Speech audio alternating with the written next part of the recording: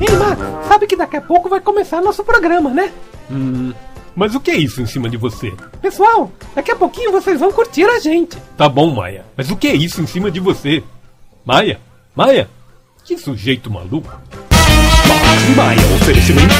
Ei, Max, deixa que eu faço o oferecimento. Não, eu faço. Não, eu faço. Peraí, vamos surpreender o locutor. Isso aí. Uau, dessa vez a gente arrasou. É mesmo, o cliente vai gostar. Sem dúvida. Convencido. Ei, Maia, que coisa é essa em cima de você? Um capacete, Max, não tá vendo? Hoje você não me pegou porque eu estou vendo. Mas, por que você está com esse capacete? Porque eu vou andar de moto e para andar de moto a gente precisa usar capacete.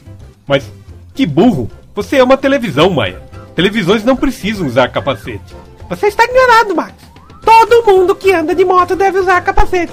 Use a cabeça. Mas que cabeça, imbecil! Televisores não têm cabeça, por isso não precisam de capacete para andar de moto. E quem disse que TV anda de moto? Você me disse. Hum, pensando bem, acho que somos dois idiotas. É, Max.